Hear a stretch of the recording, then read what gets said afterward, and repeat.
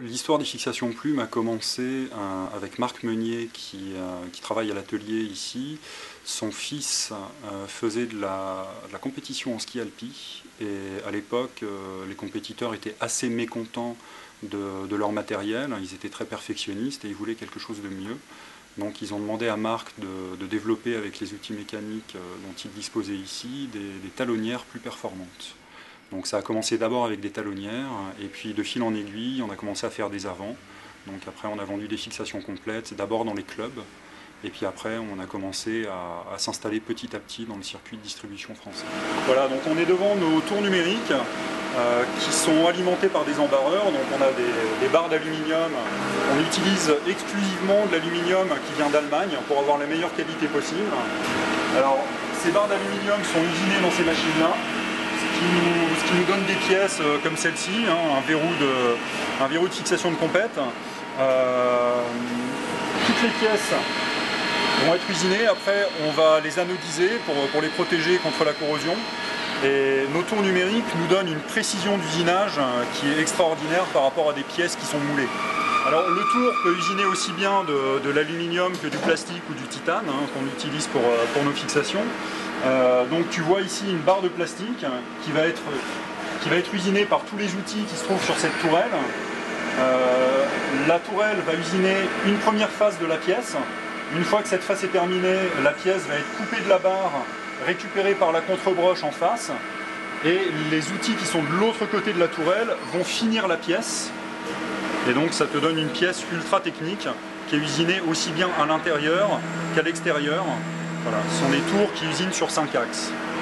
Alors on usine toutes nos pièces dans la masse hein, pour avoir une extrême précision au niveau de l'assemblage de nos fixations. Et la précision de l'assemblage te donne des meilleures performances et une meilleure sécurité de déclenchement.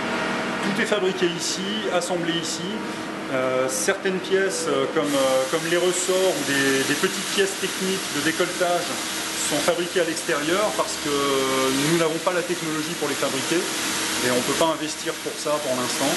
Mais sinon, euh, tout est fabriqué euh, dans notre entreprise et chez quelques entreprises qui sont juste autour de nous. Et, et tout est assemblé par contre dans nos murs. Qu'est-ce qu'elle a de plus euh, Elle a beaucoup plus, elle est plus belle, plus performante, un peu plus chère mais de bien meilleure qualité. C'est un, produit haut de gamme qui s'adresse aussi bien à des gens qui vont faire de la rando, je dirais monsieur tout le monde, qui va faire sa rando soit la journée, soit en, en week-end, en raid. Euh, et ça s'adresse également à des gens qui vont faire du, freeride assez engagé.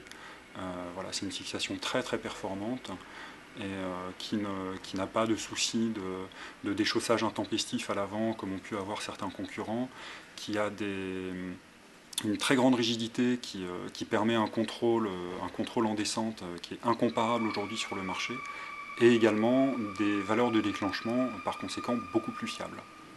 Et au-delà de ça, on a aussi euh, ce que les gens ont tendance à un petit peu oublier, une légèreté que nos concurrents n'ont pas du tout. C'est-à-dire qu'aujourd'hui, on a une fixation, la fixation guide, qui pèse un petit peu moins de 700 grammes la paire.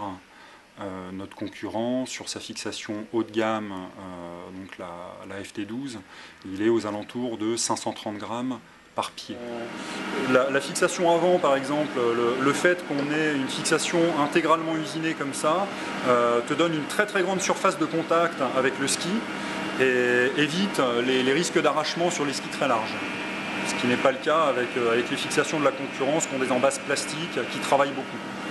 Eh bien, écoute, sur la talonnière, euh, de la même manière, on a une très très grande rigidité, que ce soit dans l'embase, comme tu le vois, l'embase est en aluminium, euh, le corps reste en, plastique, en polymère, mais qui est un plastique très très rigide, ce qui fait qu'on a une fixation extrêmement rigide, qui n'a pas du tout de jeu comme, les fixations concurrentes. Et donc le fait d'avoir un ensemble très rigide à l'avant et à l'arrière te donne des performances en descente euh, qui sont clairement aujourd'hui inégalées sur le marché.